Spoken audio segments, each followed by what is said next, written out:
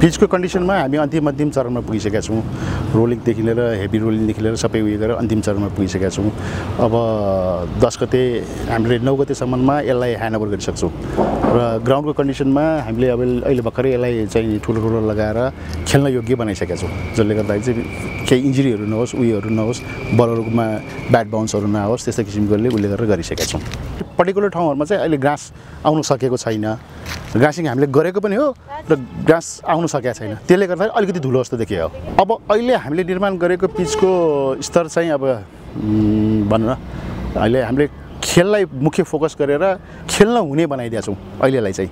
अब यसपछिको प्रोसेसिङहरू चाहिँ अब धेरै लामो प्रोसेसिङहरू अझै पनि बाँकी छ र यसलाई हामी हामी अझै यसको स्तर सुधार गर्छौँ। खेलको दौरानमा केही पनि समस्या पर्दैन किनभने त्यहाँनिर जति हामीलाई चाहिने इनफ बााउन्ड्री छ त्यहाँनिर पुग्दो बााउन्ड्री छ। किनभने हेर्दाखेरि चाहिँ हो अलिकति हेर्दाखेरि त्यस्तो लाग्छ तर त्यो त्यस्तो चाहिँ छैन। किनभने जुन घर छ घर भएको साइड चाहिँ त्यसमा चाहिँ भनौँ न सिक्सटी यार्डको बााउन्ड्री बन्छ भनेपछि त्यो त इन्टरनेसनल उसमै पुगि पुगि त मैदानभित्रै चाहिँ पऱ्यो तर बााउन्ड्री बााउन्ड्री बाहिर पऱ्यो। बााउन्ड्री बाहिर त्यसले खासै केही असर गर्दैन। इन्टरनेसनल प्लेयरहरूले पनि आएर भिजिट गर्दैन पारसहरूले उनीहरूले पनि आएर भिजिट गर्दै सरदहरू सबैजना आएर भिजिट गऱ्यो र उनीहरूले पनि ग्राउन्डको अवलोकन गऱ्यो भने अझै राम्रो हुन्थ्यो मेरो विचारमा। किनभने अब हामीले हाम्रो तर्फबाट गर्ने त गरि नै रहेको हर हर दिन हर समय गरिरह गरि नै रहेको हुन्छौँ। तर अब भन्नुहोस् न इन्टरनेसनल प्लेयरहरूले पनि आएर भिजिट गरेर केही कमी कमजोरी छ भनेदेखि उनीहरूको उनीहरूको विचारमा जस्तो हामीले जतिसम्म देख्यौँ त्यतिसम्म गरेर उनीहरूको हिसाबले केही कमी कमजोरी देखेको छन्। उनीहरूले पनि त्यो कुरालाई चाहिँ हामीलाई भनिदियो भने हामी अझै त्यसलाई सुधार गर्न सक्ने उयो हुन्थ्यो मौका पाउँथ्यौँ। भन्नुहोस् यसको अब भर्खर आज यो द उसबाट प्रधानमन्त्री कपबाट न्वार्नु हुँदैछ। अब यसपछि यसको सुधार्ने सुधारिने कम क्रमहरू बिस्तारै बिस्तारै बढ्दै जान्छ। त्यसले गर्दाखेरि भनौँ न अनि त्यसपछि चाहिँ यसले इन्टरनेसनल फेजहरू पनि पाउँछ जसले गर्दाखेरि भनौँ न दुई वर्षको हाम्रो निर्माणाधीन ग्राउन्ड ग्राउन्ड हो दुई वर्षभित्रमा धेरै कुराहरू बनिसक्छ र जसले गर्दाखेरि यसले चाहिँ भोलिको दिनमा दर्शकले इन्टरनेसनलको झलक पाउनेछ यो ग्राउन्डमा। एउटा कुरा के हो भने त्यसमा सेक्युरिटीको सबभन्दा मुख्य कुरा सेक्युरिटीको कुरा आयो होइन।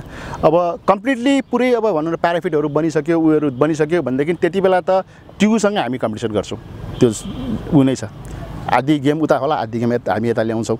त्यसमा कुनै दुई मत छैन। अब सकियो भनेदेखि झन् त अब ट्युको पुरै म्याच नै हामी यतातिर तानिदिन्छौँ कि थाहा दुई टु थाउजन्ड ट्वेन्टी भन्दाखेरि सकियो भनेदेखि सेक्युरिटीको उयोहरू भयो भनेदेखि किनभने किनभने तपाईँको भनौँ न एक त्यति अझै पनि हामीसँग एक वर्षको उयो त छ नि समय सीमा समय सीमा एक वर्षभित्रमा धेरै कुराहरू परिवर्तन भइसक्छ जहाँसम्म मलाई लाग्छ। यो मुलपानी अन्तर्राष्ट्रिय क्रिकेट मैदान चाहिँ ठ्याक्कै तपाईँकै उयो भनाइमा भनिदिनुहोस् न कस्तो खालको बन्छ ठ्याक्कै पुरै दर्शक ठ्याक्कै दर्शकहरूलाई पनि होइन? अब पाठकहरूलाई पनि यस्तो खालको चाहिँ बन्छ है भन्ने सन्देश अब अहिलेको भनौँ कि पछिको भनौँ? पछि बन बन्ने। कम्प्लिट भइसक्दा। कम्प्लिट भइसक्दाखेरिको त अब हेर्नुहोस् मैले मास्टर प्लान त मैले पनि हेरेको छैन होइन। मास्टर प्लान मैले पनि हेरेको छैन। मास्टर प्लान हेरेको भएदेखि म तपाईँलाई त्यो यो यो यस्तो किसिमको बन्छ उस्तो किसिमको बन्छ भनेर भनिदिन्थेँ होइन। यति हो कि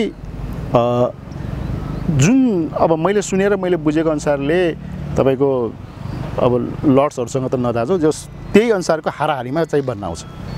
त्यही अनुसारको भन्छ भन्ने मैले मलाई मैले थाहा पाएको अनुसारले त्यही हो। त्यहाँभन्दा मलाई अहिले त्यो खासै केही थाहा छैन। तपाईँको पोजिसन र अहिले त राखेको केमा हुनुहुन्छ आबद्ध हुनुहुन्छ त्यो भनिदिनुहोस्। म राखेपामा एज अ क्युरेटरको पोस्टमा आबद्ध छु। अँ भनौँ अब आउटफिल्ड त भनौँ राम ठिकै छ यति होइन। अब मिहिनेत गरेको छन् होइन कोरिडर्सदेखि र ग्राउन्ड स्टाफहरू अँ, दुई दिन छ। च्यालेन्ज पनि छ यति सजिलो छैन धेरै फर्स्ट टाइम गर्दैछु। खुसीको कुरा हो कि एटलिस्ट काठमाडौँभित्र भनौँ न त अर्को एउटा ग्राउन्ड्स भनौँ बनिरह खेल्ने लायक भइसकेको छ। सो ओभरअल होइन अब कोरिडर्सले अब हामीलाई दिने हो। अब मेन त कोरिडर्सको हातमा हुन्छ यस्तो कुराहरू। सो बाहिरबाट हेर्दा एकदमै राम्रो देखिएको छ यसो आउटफिल्डहरू पनि। त्यस अलिक मिहिनेत चाहिँ छ त्यसमा अलिकता। कटिङ जिरो मसिन उहाँहरूले लगाउने। र मेन रोल भनेको चाहिँ कोइरेटर कुरेटरको हो कि होइन? अब कुरेटरले ल्यास हामीले दिन दिन्छु भनेको छ भनेपछि अब उहाँको उसको रिस्पोन्सिबिलिटी बढी हो क्या त्यो उसमा। नयाँ विकेट छ होइन अब फर्स्ट टाइम खेल्ने हो यसमा अब अब त्यो जति हुनुपर्ने कम्प्याक्ट त्यो भएको छैन त्यसमा अफकोर्स छैन तर उसले मिहिनेत गरिरहेको छ कोइरेटरले अब उसले भन्छ कि यस म दिनु सक्छु भने चाहिँ राम्रो कुरा हो। केही उत्साह थपेको हो यो मैदान तयारी अफकोर्स किनभनेपछि अब एटलिस्ट भनौँ न काठमाडौँमा एउटा जुन टिभी ग्राउन्ड थियो अलिकता अब त्यसको एउटा अल्टिमेटमा चाहिँ टिभी ग्राउन्ड माथि मुलपानी ग्राउन्ड भएको छ त्यसको माथि पनि अर्को ग्राउन्ड छ। सो तिनवटा ग्राउन्ड काठमाडौँभित्र छ भने चाहिँ एकदमै खुसीको कुरा हो। त्यो म्याक्सिमम् नम्बर अफ म्याचेस हुन्छ। होइन त्यो हिसाबले त खुसी छ कि सबै। यस तर यसलाई चाहिँ अरू चाहिँ यसले अरू अपग्रेड गर्नुपर्छ हामीले।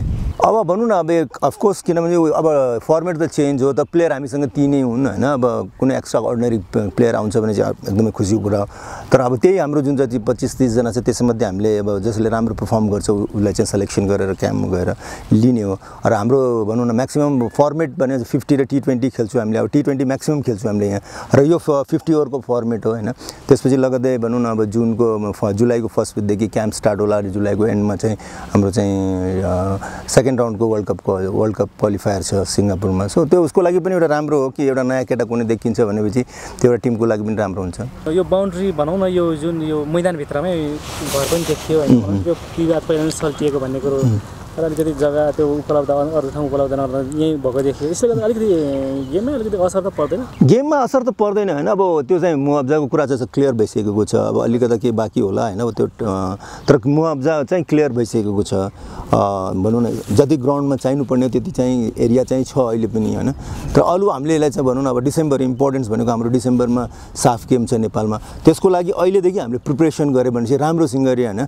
अरू बेस्ट हुनसक्छ नेपालको लागि मेरो लागि यो ग्राउन्ड भनेपछि यो सा सागको लागि पनि यहाँ क्रिकेट त अभियसली हालिसकेको छ भनिसकेको हजुर, यो। मैदानमा पनि हुने सम्भावना बढी देख्नु। एकदमै किनभने चाहिँ अब त्यो त पुरा स्टेडियम टाइपको प्याराफिडहरू छ सबै छ अब भनौँ न अरू चाहिँ थपथाप हुन्छ।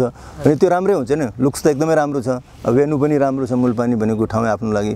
त्यो त्यसले गर्दा मेन भनेको हाम्रो विकेट्स आउटफिल्डहरू होइन अरू फेसिलिटेट गर्नु कुराहरूमा हो। होइन अब यसलाई चाहिँ अपग्रेड यो टुर्नामेन्ट्स पछि चाहिँ अपग्रेड गर्नुपर्छ यो ग्राउन्डलाई